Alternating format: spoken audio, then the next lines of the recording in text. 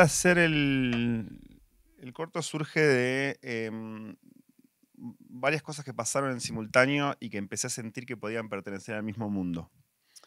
Em, una de ellas, que lo cuento a título personal, porque antes era que yo me acababa de separar de mi, mujer en ese momento y, no encontraba bien cómo procesar. Entonces había una idea que yo sentía que es la idea de eh, la rotura interior, ¿no? Que es, o sea, cómo se arregla uno a uno mismo eh, cuando la vida sigue, digamos. No, hablo de una tragedia, ¿no? Pero, es decir, eh, la sensación de estoy roto, no sé cómo me arreglo.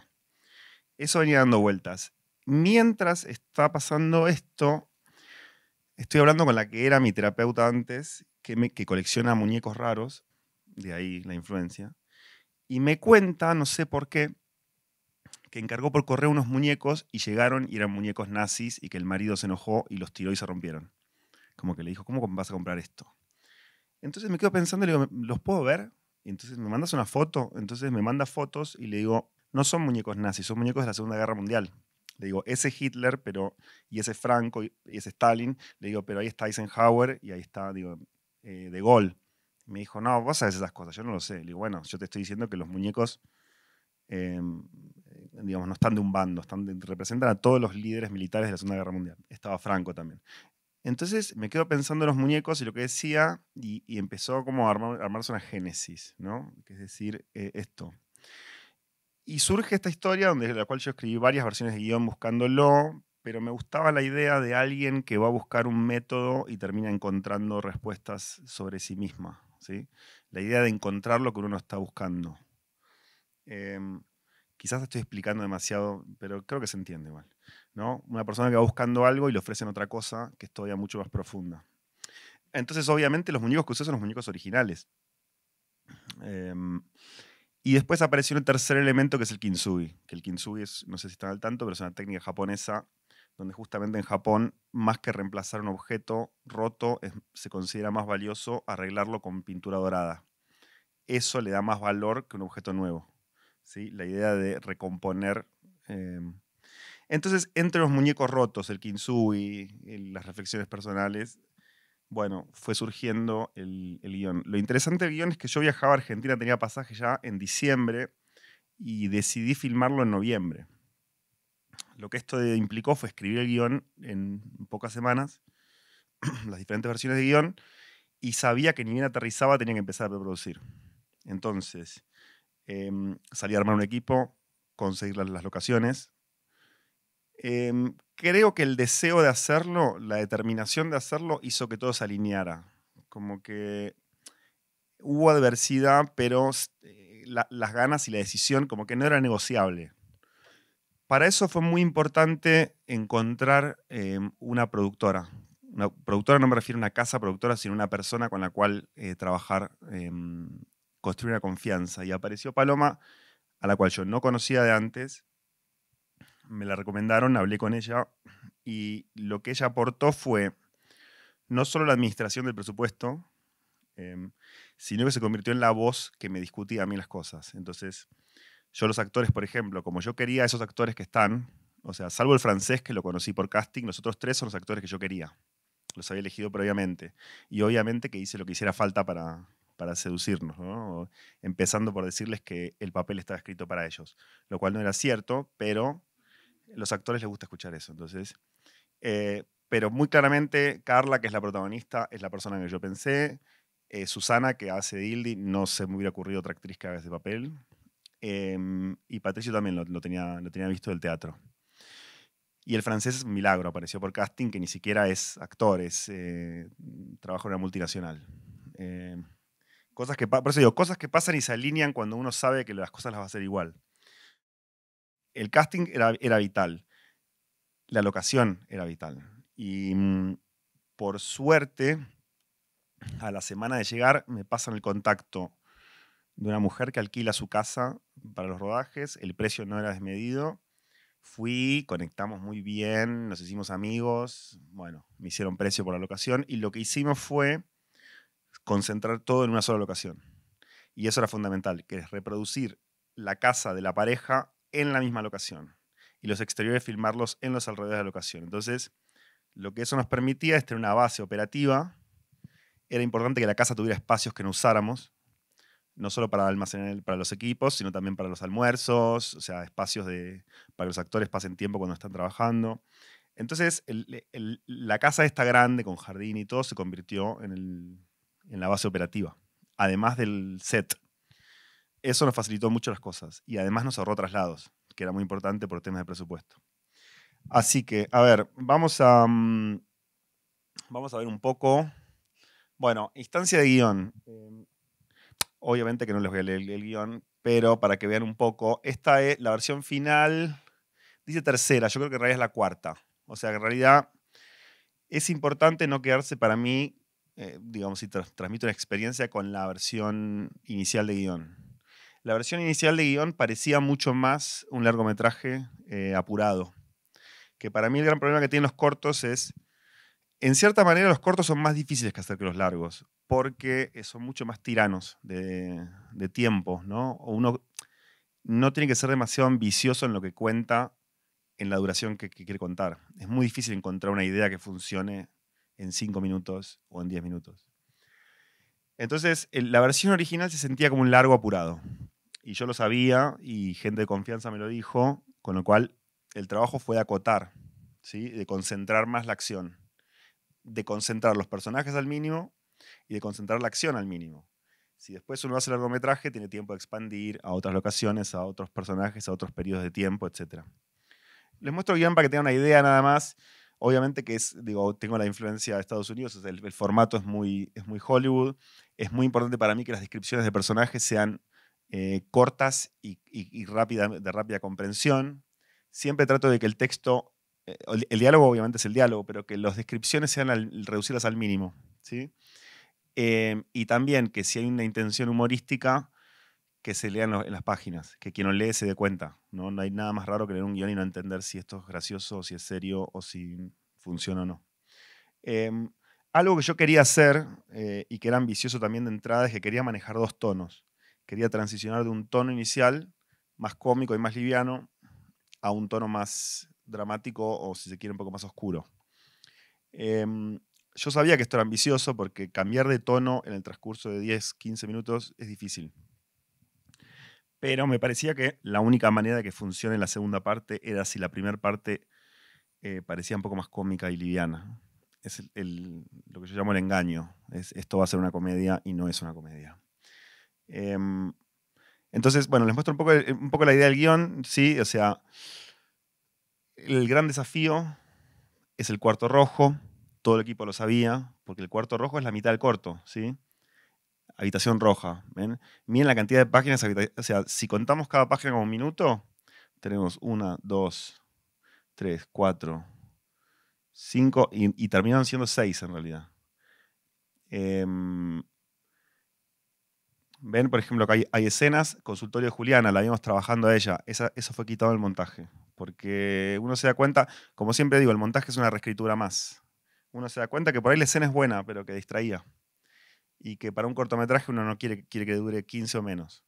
Esto es importante para los festivales, sobre todo, pero también porque uno por ahí, eh, si va a ver un capítulo de tele que dura media hora, no tiene problema. Pero un corto que dure más de 15 se pone impaciente por un tema de expectativas. ¿no? Entonces, un corto que dura 22, uno dice, uy, qué largo. No es que sea largo, es que estamos acostumbrados a que un corto dure una cierta duración.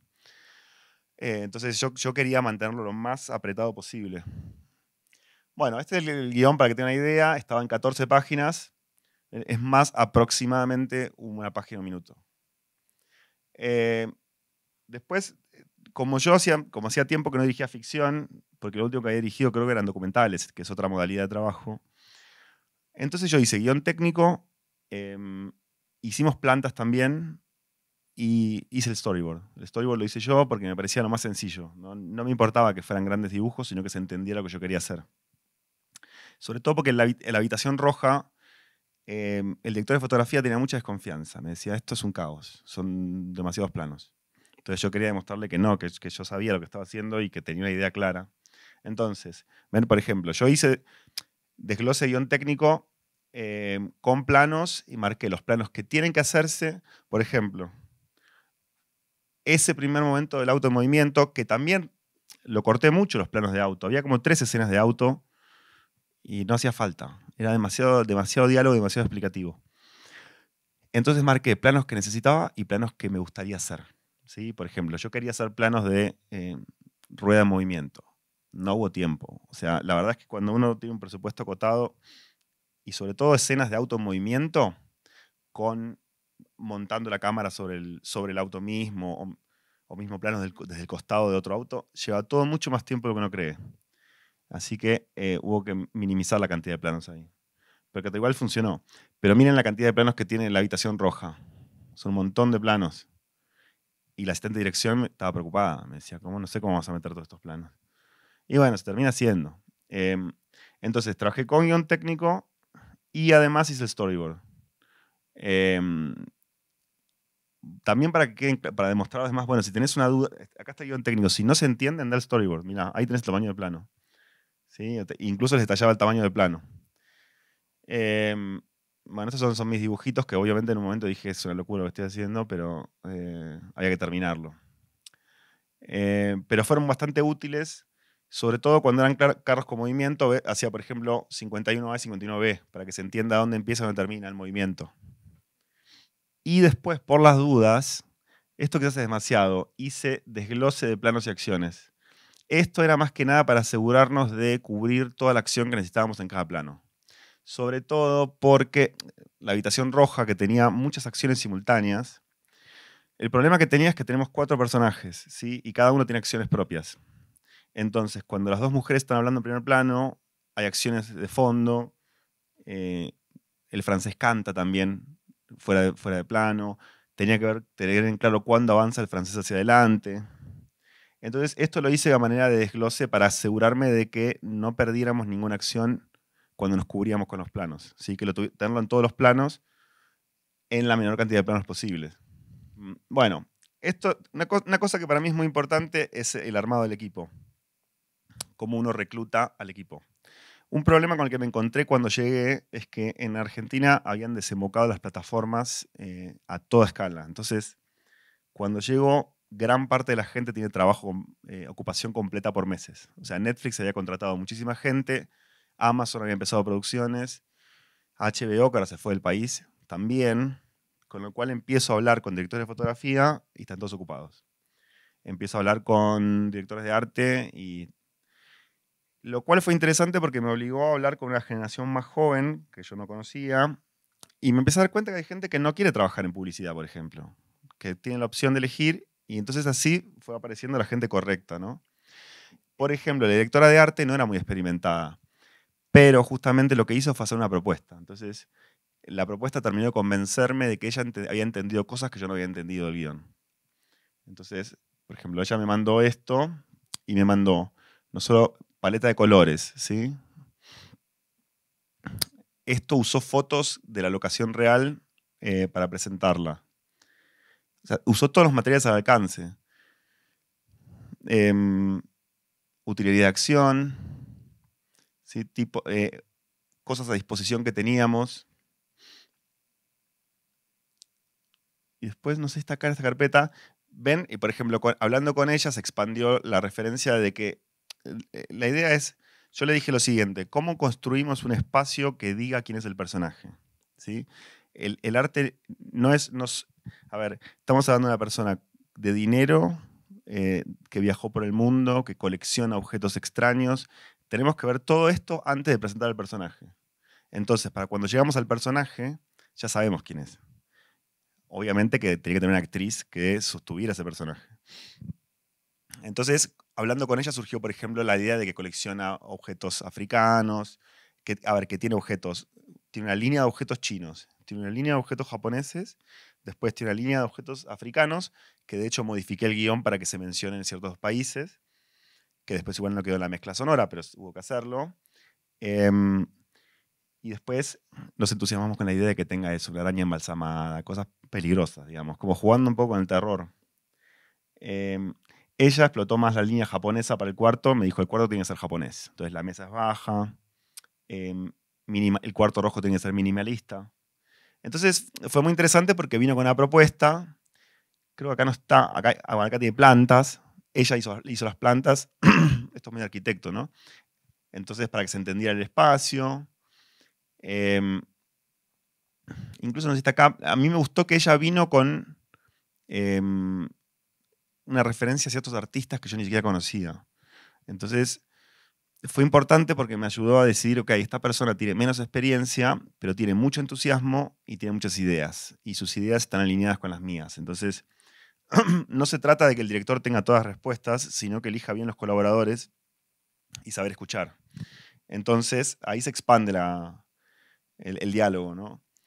Em, bueno, esta propuesta justamente de cómo, por ejemplo, ven, así es la habitación original que está en la casa y cómo convertirla en algo que, refleje más al matrimonio. Esta conversación que tuve con la directora de arte, que es la misma que tuve con la vestuarista, es que todas las decisiones estéticas responden a personaje.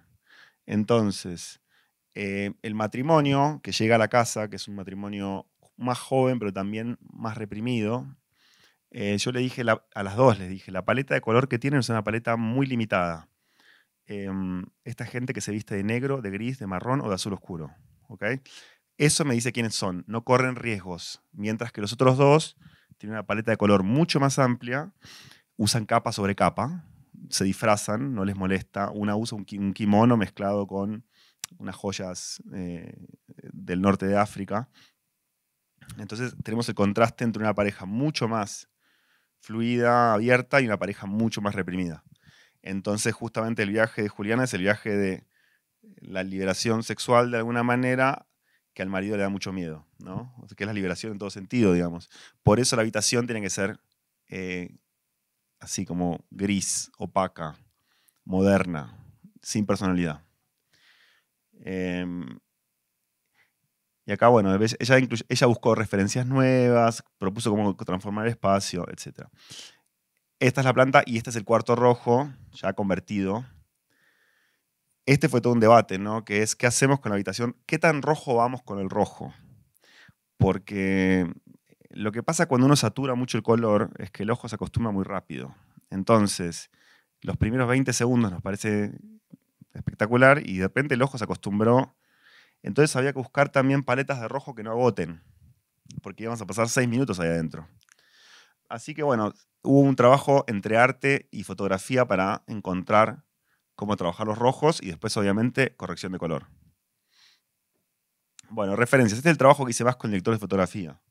El director de fotografía, como yo les decía, yo le di ciertas referencias. Una de las referencias, inevitable para los rojos, era Suspiria, la original, la de Darío Argento. No, la de Guadagnino, sino la otra.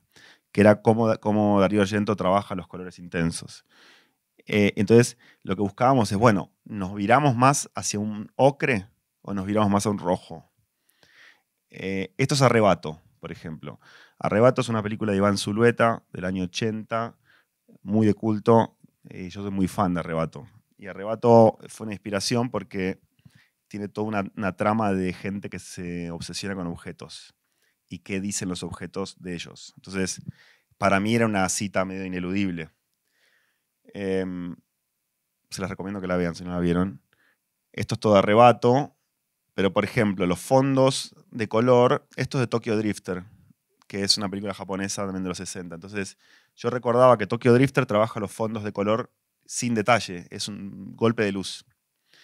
Entonces, eh, estas fueron las referencias que teníamos. Esto es Get Out, ¿no? Cómo trabajar eh, la luz de los rostros.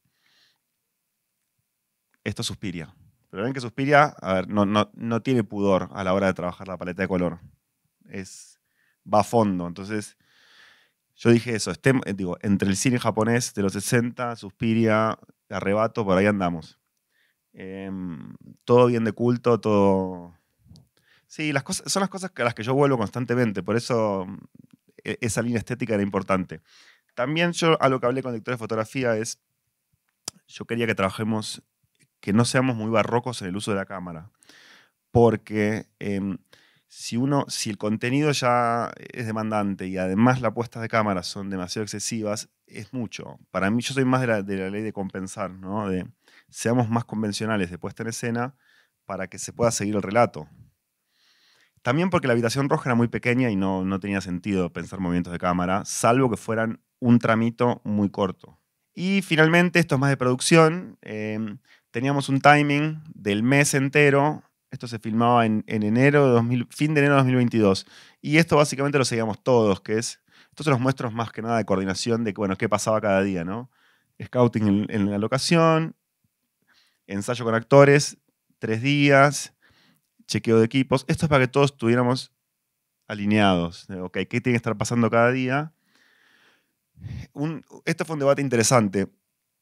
Yo dije de entrada a la jefa de producción, yo quiero tres días y medio de rodaje. Y, y, ella terminó decidiendo por su cuenta que fueran tres días y que el primero fuera de ensayo. Se llegó a firmar en tres días, pero un poco a las corridas. Y yo me enojé conmigo mismo, no con ella, porque dije, yo tenía que haber insistido. Yo sabía que no eran tres días. No eran cuatro tampoco. Pero si usábamos medio día para levantar equipos y, rodar escenas, eh, hubiéramos, no hubiera hecho falta correr, que nos pasó un poco eso. Bueno, esto, eh, esto es un poco el proceso desde, desde génesis, guion, producción. La postproducción ya tuvo sus desafíos también, porque, bueno, yo, estoy, yo estaba en Los Ángeles, ¿no? Todo el año. El equipo estaba todo en Argentina. Em, el montajista chileno, gran amigo, gran montajista. Entonces tenía el montajista yendo entre Los Ángeles y Chile. Em, el músico estaba en, Filadelfia. Em, y después el sonidista estaba en Buenos Aires. Postproducción de sonido se terminó toda en Buenos Aires, en un gran estudio de Buenos Aires que es Tres Sonido. Y después el, asesor de color, que lo conocí acá, a Diego Llama, que gran amigo personal, que es colombiano, estaban entre Colombia y España. Así que eh, Diego hizo una etapa del color y después la terminó un colorista en Argentina. Entonces en el momento estaba hablando con Chile, con Colombia, con Estados Unidos y con Argentina. En el mundo contemporáneo esto no debería ser raro, es lo mismo. Digamos, estar hablando con la provincia al lado o con China es un tema de horario nomás. Pero fue, fue interesante coordinar toda la postproducción a distancia. Em, y una vez terminado, se terminó a comienzo de este año, conseguí un distribuidor que estaba en Berlín. Entonces el distribuidor se, encargó, se encarga de mandar los festivales, cosa que todavía está pasando en este momento. ¿no? El tema festivales, y si quieren ya habilito las preguntas si, si hay, el tema festivales es interesante porque están en un momento muy extraño los festivales, están en un momento transicional, le están quitando fondos, incluso a Berlín y a Cannes, o sea, los festivales grandes también tienen problemas. De hecho, acaba de renunciar el director del Festival de Berlín. Em, y em, como se sienten amenazados, la programación que eligen, em, a mi gusto, es un poco conservadora. Entonces, porque quieren garantizarse un cierto público, etc. Lo que pasa con un corto así, que es un corto argentino, pero que no refleja las típicas problemáticas latinoamericanas, es que se choca me he chocado mucho con, eh, y los conozco los programadores de los festivales, hablo y, sé por qué no lo eligen, que es lo que se espera del cine latinoamericano es una explotación ¿no? de la marginalidad, de la pobreza, etcétera, etcétera. Este es un dilema que no sé cómo se resuelve. Yo quería hacer lo que yo quería hacer, digamos. A mí no me corresponde hablar de una clase social que no conozco y que no es la mía. Eh, sí puedo hacer un retrato de clase como esta porque de ahí vengo, no me siento en condiciones de hablar de ciertas temáticas. Em, pero bueno, es interesante qué se hace con eso. Lo, más importante creo que es no frustrarse. Em, es no frustrarse porque uno, lo importante para mí es hacer lo que uno quiere. Si uno se pone a hacer un cine servicial en función de lo que quieren los festivales, el riesgo es perder identidad. Pero bueno, estamos en el proceso mismo ahora de los festivales, así que paciencia. Bueno, y si quieren con eso, no sé si tienen preguntas o dudas o comentarios, eh, encantado de escucharlos.